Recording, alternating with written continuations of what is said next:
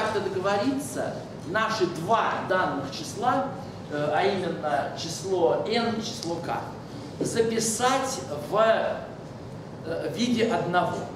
Я уже идею вам сказал.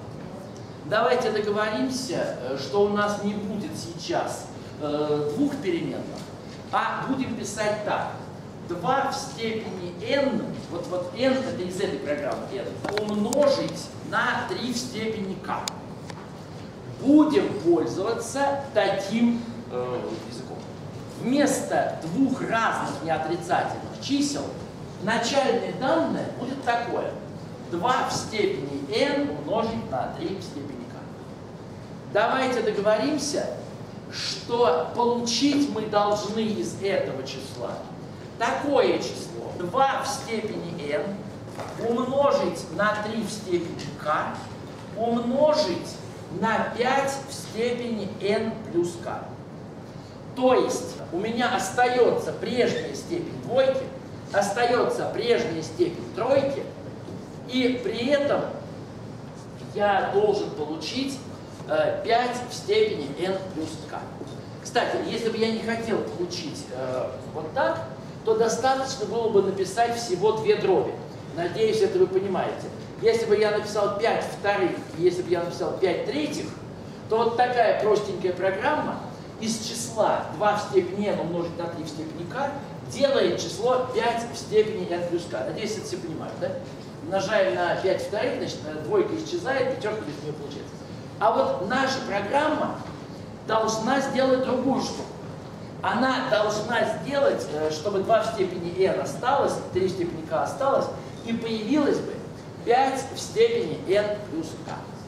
Давайте я объясню, как на самом деле совсем не трудно это, что называется, переписать. Давайте договоримся, что буквы А и Б будем записывать следующим образом. в любой момент времени у нас будет 2 в степени n, у нас будет 3 в степени k, будет, смотрите, 5 в степени n плюс k, будет еще 7 в степени а, и какое там следующее простое число? 11 в степени b. Скажите, у нас есть э, какие-нибудь еще переменные в программе? Вообще-то нет, правда? Нет значит ничего другого на самом деле нам не понадобится. Отлично. Отлично. Ничего другого нам не понадобится. Теперь надо разбираться, а что такое метки? Как заставить нашу программу, что называется, идти по меткам? Да, что?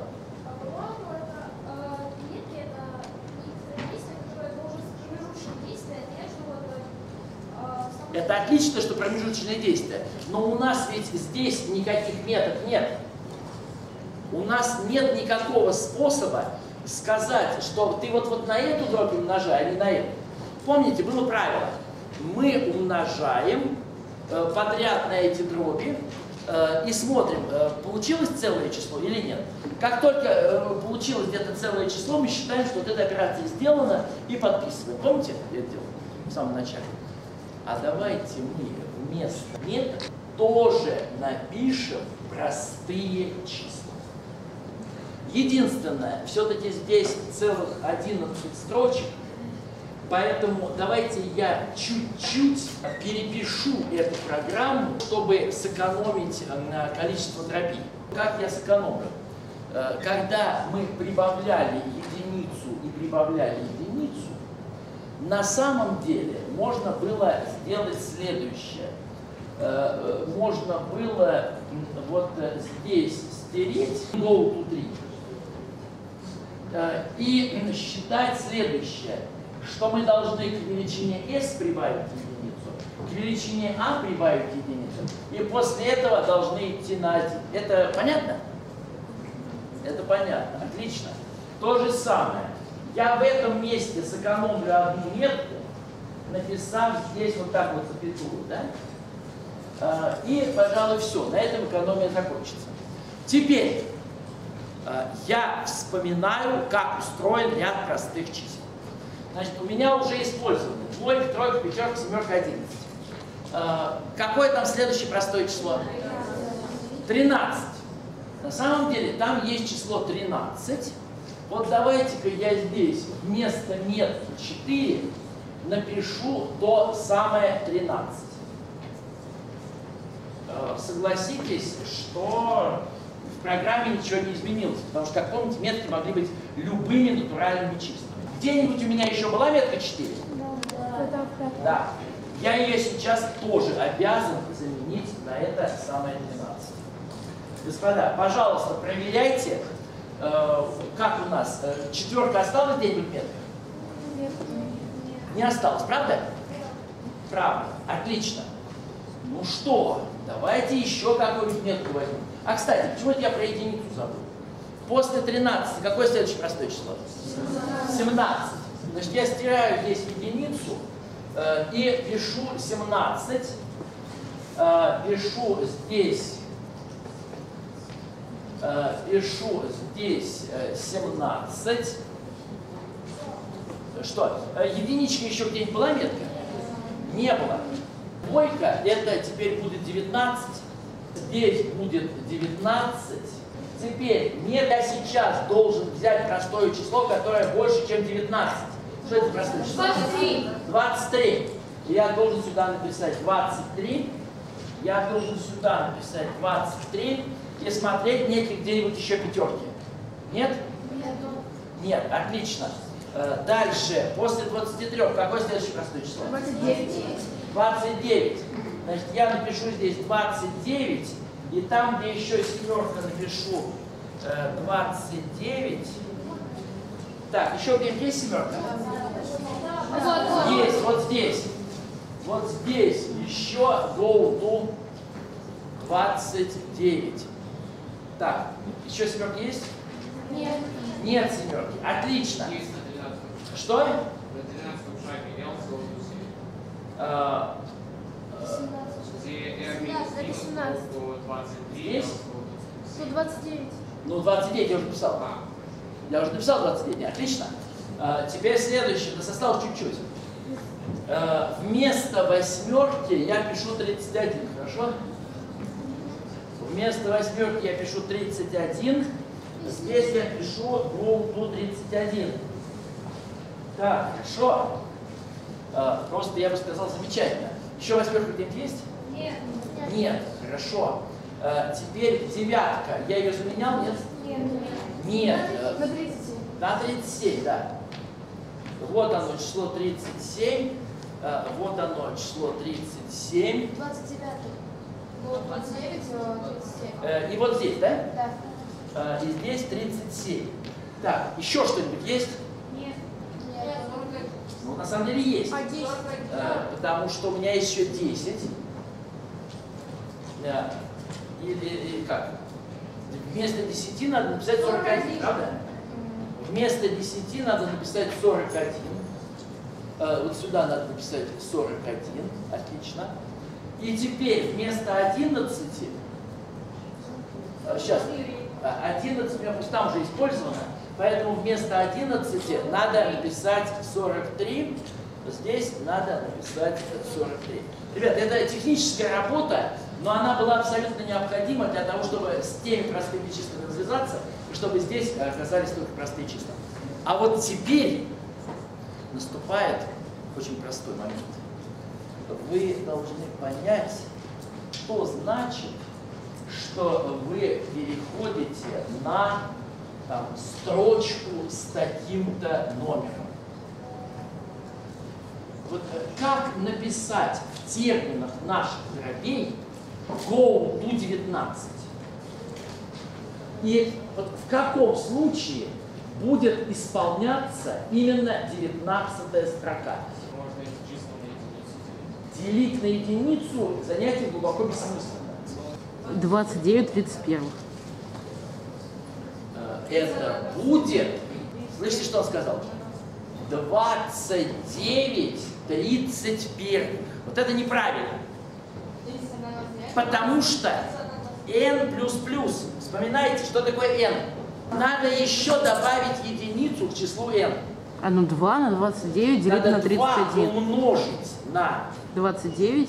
29 И разделить на 31. и разделить на 31. Ну что, вообще-то мне нравится эта идея. И давайте я запишу эту дробь э, и зачеркну там, хорошо? Значит, итак, 2 умножаем на 29, делим на 31. Э, так, чтобы было видно, что мы уже записали, э, зачеркну это. Хорошо. Что такое 41 строчка? К плюс плюс. Что такое К? Помните? 3 на 37 делить на 41. К это вот здесь, да? Это показатель степени у тройки. Значит, надо писать 3 умножить на 37 разделить на 41. Отлично. Э, Мы эту строчку тоже обработали, она понятная, все замечательно. Э, Господа, вот дальше тоже очень простая строчка. S плюс плюс, A плюс плюс, go to 17. Это что такое?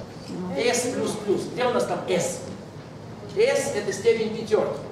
Значит, надо взять 5. Дальше. Что такое А плюс плюс? А это где? Это семерка. Так, дальше что? Умножить на 17. Go to 17. Значит, надо умножить на 17, 19. 17 и разделить на 19. Слушайте, вообще хорошо. Э, 19 строчку тоже естественным образом ее записали. Так, давайте также запишем 23. S и B. Так, что такое S? Пять. Это степень пятерки. B это показатель степени э, числа 11. Э, и еще, значит, надо э, умножить на 13 и разделить на 23. Так, отлично. Э, Это мы тоже э, записали. Для 13 строки. Да? 1 треть умножить на 23 делить на 13. Это Стоп, первая стоп, дробь. Стоп, стоп, стоп, стоп. Давайте так и запишем. Умножаем на 23, делим на 13 и еще делим на тройку, потому что k это показатель степени у тройки. Ну. Я согласен, это хорошая идея. А еще надо добавить дробь 29 13. А а еще надо добавить дробь. Какую дробь? 29 13. 29, 13. Господа, и вот в этот момент важно, что при выполнении программы мы дроби э, пере- перечисляем э, слева на... Понимаете, да? То есть мы движемся, э, э, э, начиная с левого края. То есть, э, когда мы вот доходим до этого, мы это делаем, если делилось на 3 и на 13. А если делилось только на 13, а не на 3, то мы будем делать эту операцию. Отлично. Значит, 13 строку я тоже записал. Ребята, осталось буквально чуть-чуть. 29 строку, я думаю, мы сейчас очень легко также запишем. А, давай- Давайте, я хочу написать до конца, чтобы вы просто увидели реально одну программу. Э, 29 строка, это что такое? Это надо э, 31 делить на 31 разделить 29 умножить на 7. 29 и на 7. А вот else э, пишется так. Надо умножить на 37 и разделить на 29. Отлично. Осталось чуть-чуть. Осталось чуть-чуть. Вот это 37 строка. Э, Значит, надо умножить на 41, разделить на 37 э, и b уменьшаем и на 11. И else 43 37. Э, 43 37. Отлично. Э, Теперь давайте пойдем сюда. Что у нас будет здесь? 17 строка. Умножаем на 19. Делим на что? На 17. n минус минус, это значит еще на двойку надо разделить, да? И еще, если так не получилось, то просто умножаем на э, 13 и делим на 17. Ну, что я могу сказать? На самом деле некоторая проблема есть. Проблема состоит в том, что вообще-то у нас в начале э, число, с которым э, мы работаем, не делилось э, ни на 17, ни на 31. Э, и поэтому, к сожалению, э, у нас э, не сработает вообще ни одна из дробей.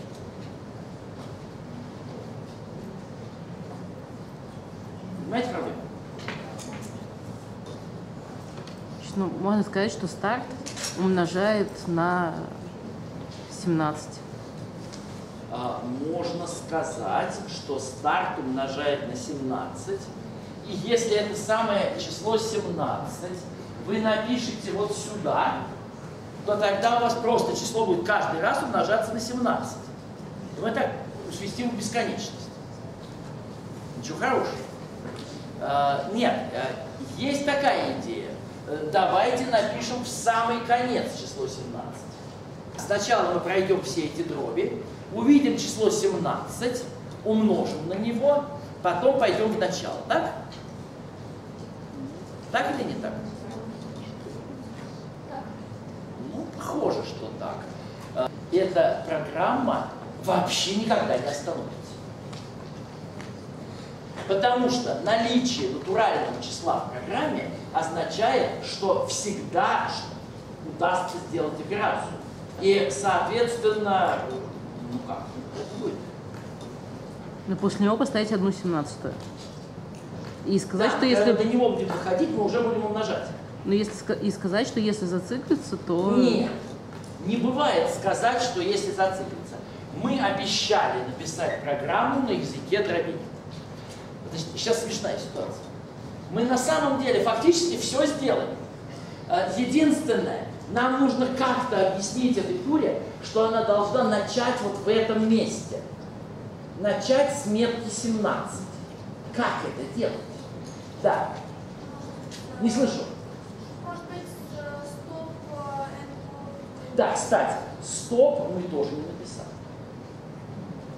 Нам нужно, чтобы в какой-то момент э, вот это вот число 43, да, вот, э, нет, в принципе, здесь у нас 43 где-то возникало или не возникало? Возникало. Вот здесь, да? 43 возникало. Вот нам надо, чтобы, вот, э, когда мы идем на 43, то там был бы стоп. Как это написать? Вообще, что такое стоп? Вы хотите, чтобы здесь просто действительно была бы, была бы такая дробь, как 1,43, да, здесь? Ну, это разумно. Это разумно. Действительно, просто напишем такую команду вместо стопа, которая просто эту самую сор- сортрешку э, стирает. И действительно тогда уже что идти некуда. Замечательно. Но проблема с тем, как начать вот ровно в этой строке. Теперь уже проблема стопа решена. Проблема начала. Надо один раз домножить на 17, и чтобы больше не домножал. Да. На самом деле нужно один раз домножить на 17 и больше не домножать. А нельзя на вход взять сразу число 2 в степени n на 3 в степени k умножить на 17. Да, ребят, давайте так и сделаем. Я э, боюсь, что более что элегантного вида я не могу э, сейчас придумать. Э, действительно, давайте, давайте договоримся. Я вот здесь сказал, что начальный вид это должно быть число э, 2 в степени n умножить на 3 в степени боюсь, что все-таки все-таки придется нам изменить. Э, давайте еще добавим число 17, потому что иначе я не понимаю просто, как ее заставить начинать ровно с данной метки. Да? Теперь, ну давайте, э, пусть она останавливается, например, э, таким способом. Э, Наверное, тогда вот, собственно, программа, которая написана, она и является, э, является программой. Сравните то, что написано в центре доски, с тем, что написано справа. Посмотрите, все ли строчки я перевел. вот эту самую 43 стоп я записал как 1 43. И посмотрите, действительно ли э, наша программа, собственно говоря, делает то, что надо.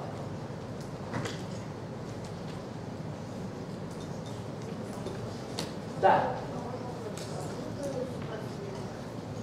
Э, 17 19 вот это э, как получилось в том месте, когда мы работали с этими двумя S++, A++.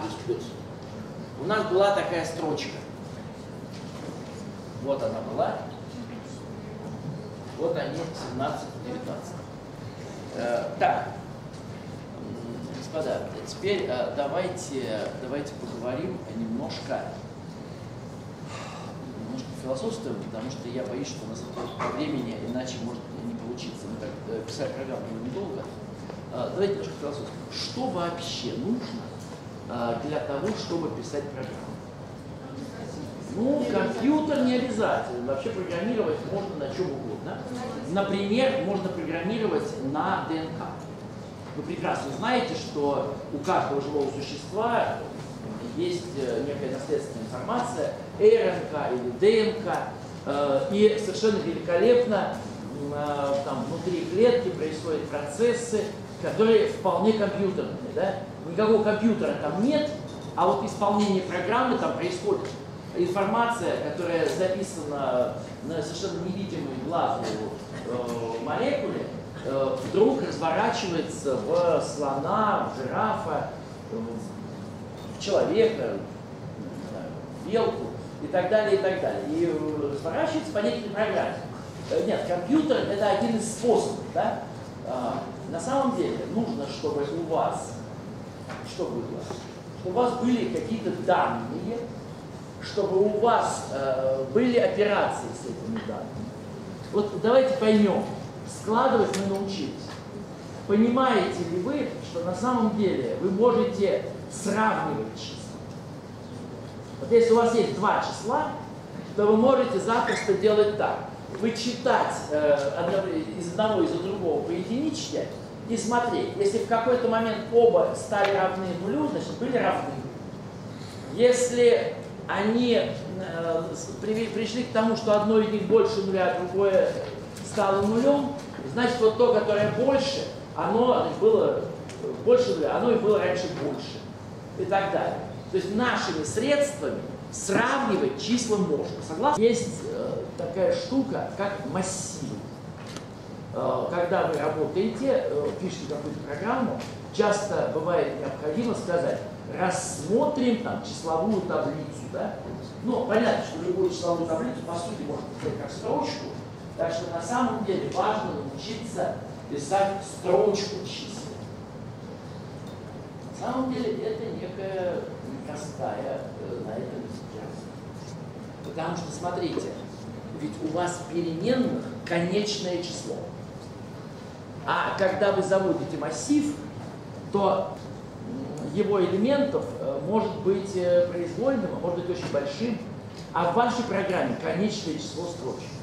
Как эту проблему решить? Ну, на самом деле, один из простых способов такой. Воспользуемся вот этой идеей с м, простыми числами.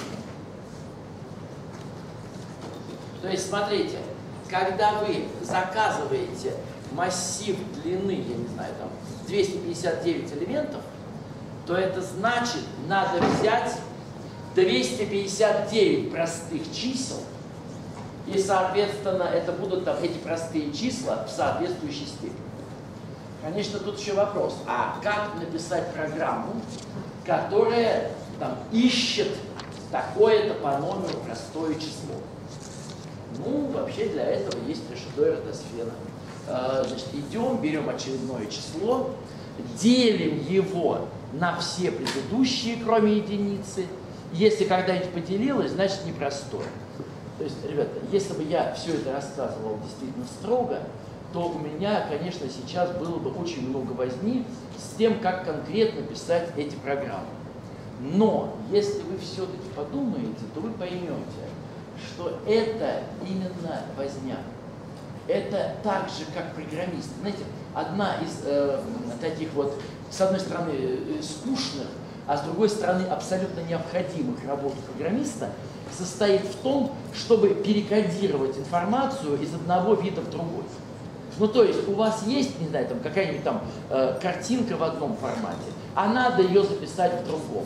У вас есть э, какая-то программа, а надо из нее сделать исполняемый код и так далее. И эта работа, на самом деле, одна и та же для всех таких случаев. Надо не торопясь, что называется, реализовывать, реализовывать, реализовывать. Э, и на самом деле у вас, в общем, более-менее все получится.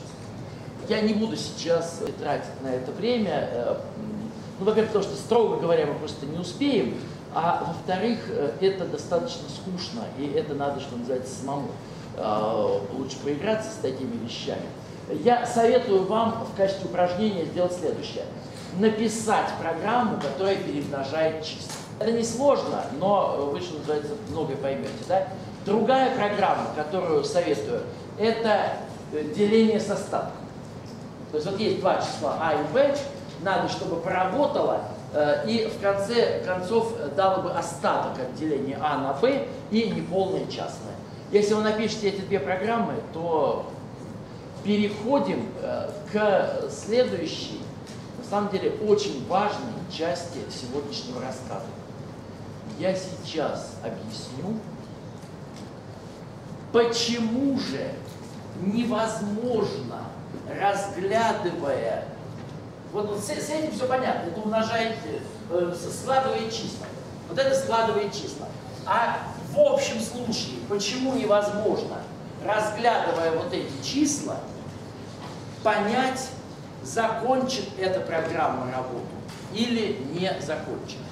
Э, Заметьте, пожалуйста, поскольку я сказал, что уже э, верю, что любую программу можно реализовать вот на этом языке, то я сейчас имею право забыть про этот язык и начать говорить уже про любой достаточно э, удобный язык программирования.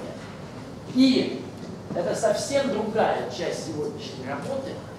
Мы с вами сейчас докажем э, очень важную в математической логике и в компьютерной нау- науке теорему о неразрешимости проблемы остановки.